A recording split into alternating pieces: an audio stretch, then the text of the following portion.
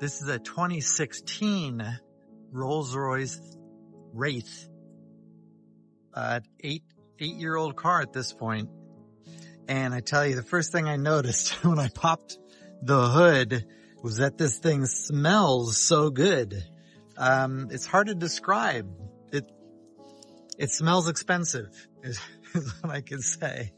Uh, uh, has a really good smell of the motor. Uh, a famous Rolls-Royce motor that it is. V12.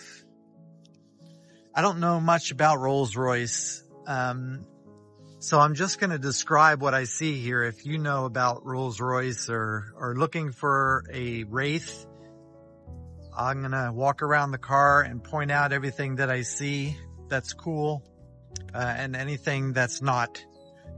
But I opened everything up here so you can see what it looks like. It looks odd with the doors opening, suicide.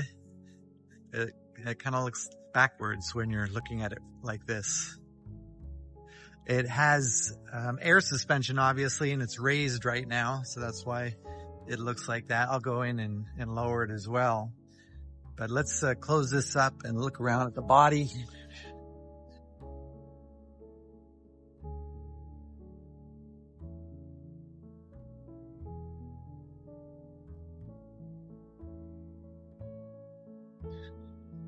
The back. That is a deep trunk. That must be four and a half feet deep.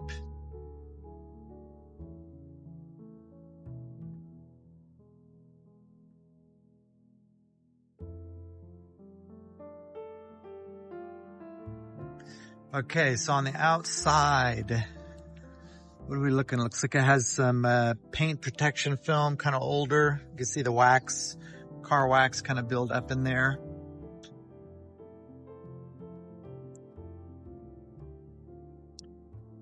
Paint looks really smooth so far.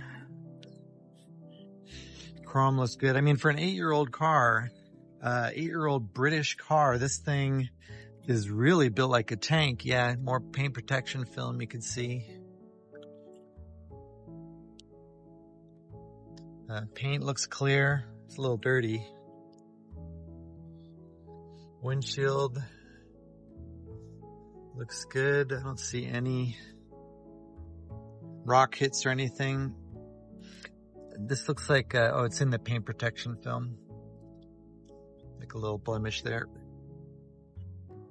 Looks good. Car looks good besides sitting for a while. Needs a good, a good bath. But no scratches that I can see.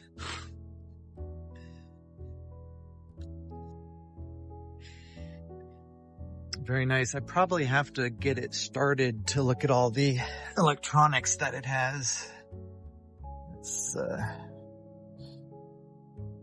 start this up. Well, that's very nice.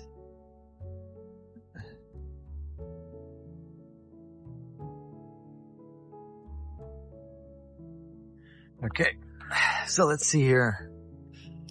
The door I bet you that's a light when it's dark, kind of glow, oh, kind of glows. Probably lock and unlock the windows. Yep.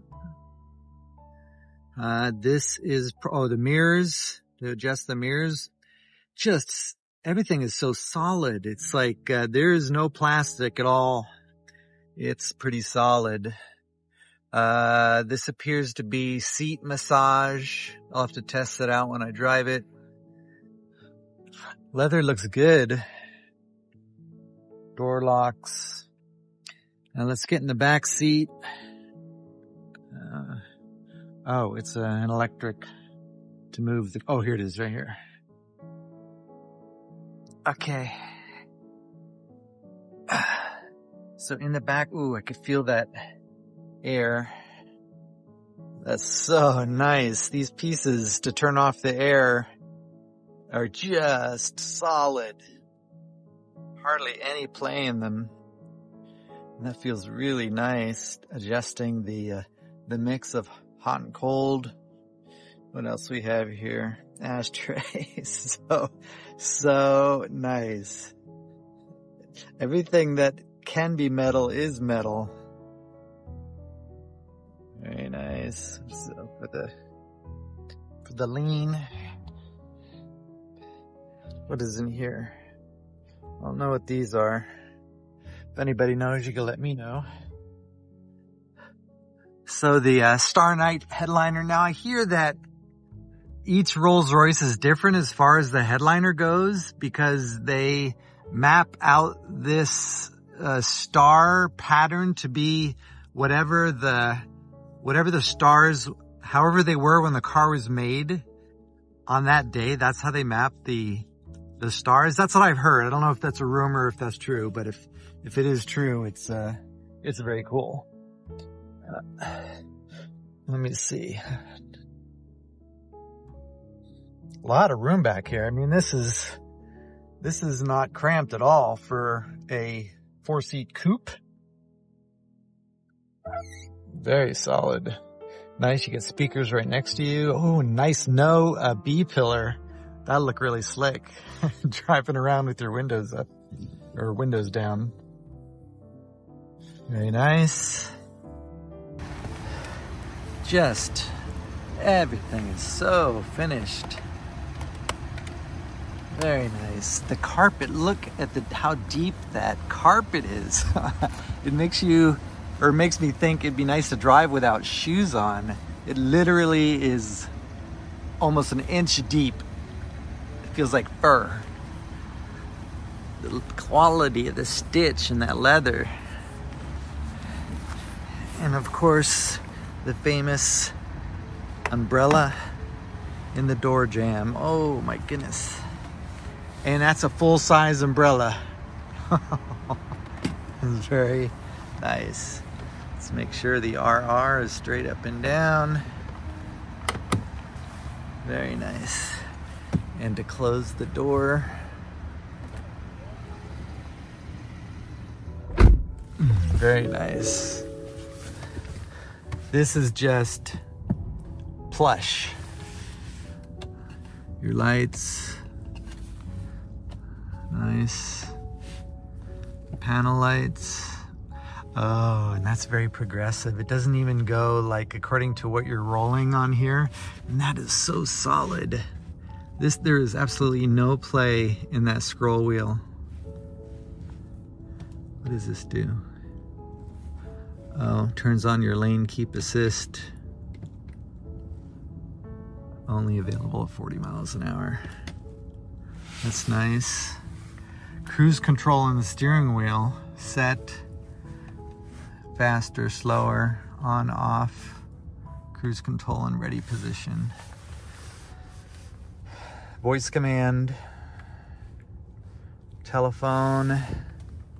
Note the scroll is mm what is mm all these buttons are so solid. Nice. Tells you what station you're at very nice. Everything looks so nice. Park and brake. Park and brake, I'm sure that's the hill hold. Turning on your cameras. Yep. Oh, side cameras. And that's your overhead shot. Very, I mean, you think about it, for eight years ago, they and that back then they had the uh, stitch for uh, overhead satellite view. That's very cool. This looks a little archaic, only being in black or white. And that adjusts with this little scroll wheel right here. But even that scroll, that is just solid. Back in the day with, uh, I forget what they used to call this for BMW, but we basically have a mouse right here. Radio, CD, main menu, uh, telephone, map, back an option that must be like a sub menu and your same adjustments for your HVAC, your fan speed. Oh, that feels so good. Really nice. Oh, and I like this how these are your like big save buttons that I'm sure back in the day used to be just to save your radio, but now it gets so far and then it changes to CD, um, you know, CD, no disc, uh, telephone access real quick. This is navigation access real quick. And then this one is your Spirit of Ecstasy. Let's see if we scroll with that wheel. Let's lower it. And there it went down. Let's go back to raise. And there it comes back up. Very nice. Same thing with here. Man, these these pull and push tabs are just so solid. A cigarette lighter? What is this? Oh, that's radio volume. Right. It's a mute, or is that phone volume? What is this here? Oh, that closes in case you don't want to look at a computer while you're driving. Very nice. Course, the analog clock. This is you. Oh, this is your raise and lower of your suspension. So we'll lower that while we're here. Uh, door locks. That's door locks. Maybe this is like on, on, pick either side that you're gonna lock, or maybe child locks on this one for the back in case you have uh, rich kids to go in the back of your Wraith. Very nice. Same thing. Seat heating, or not seat heating, seat massage. Like this. Inside the glove box, you have a, you could lock your trunk if you want, lock or unlock. So when you give it to the valet, they can't access your trunk in case you have suitcases of diamonds in there. SOS, passenger airbag, your lights. I tell you, for an eight-year-old car, it's probably your home link right here. This thing is solid. And the leather has worn very nicely. As you can imagine, they look like club club seats. That stitching, man, is so nice. Okay, let's take this around the block. See how the Wraith drives. As you can imagine, it is literally like driving your living room. The seat is so comfortable.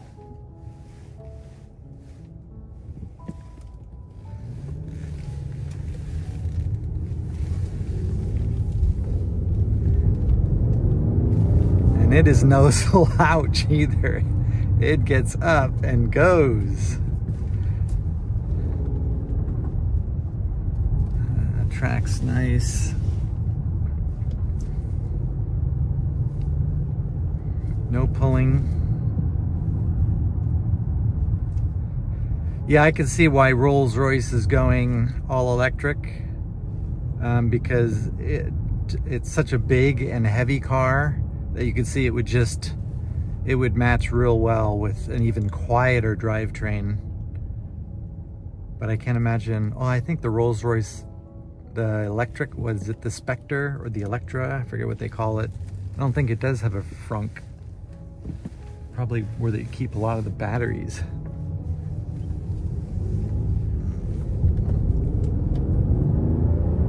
Oh yeah, this thing pulls hard and smooth. And as you can imagine, just so plush to drive. Even if this is considered the sports car of the Rolls-Royce line. Now we get to see how it brakes. Yeah, it pulls good. Nice and smooth. I'm sure I just took... I'm going to slow down this car. I can't even imagine how much it weighs. Yeah, no problem. This thing has enough power to get out of its own way. Yeah, this would be the car to go on a cruise. This is just plush.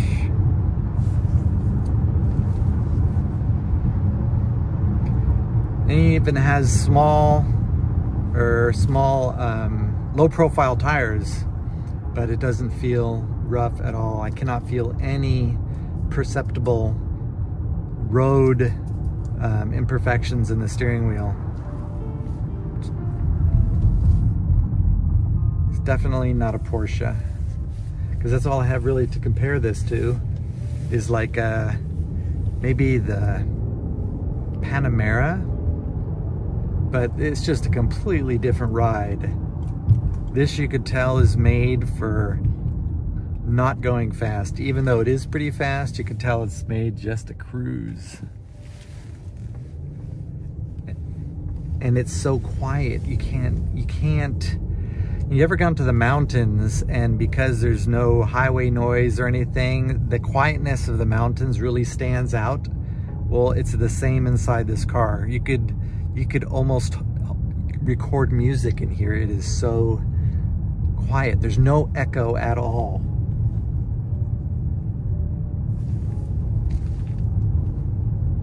Very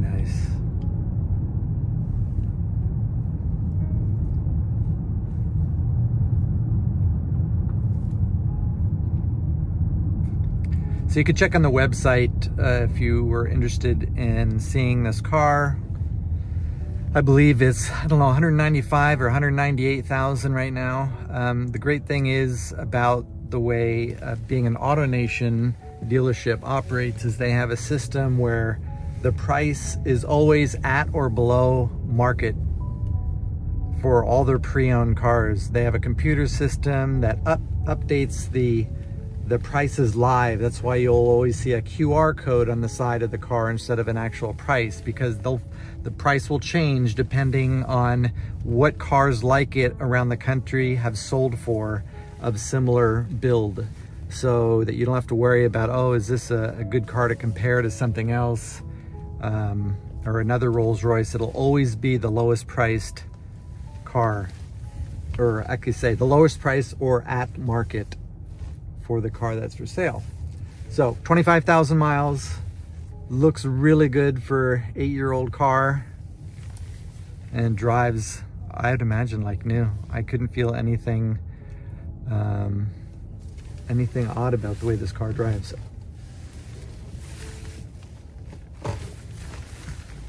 Now, backing it up, that's another thing. Yeah, it's a long car. This is gonna be a two-pointer. I'm gonna stop it here.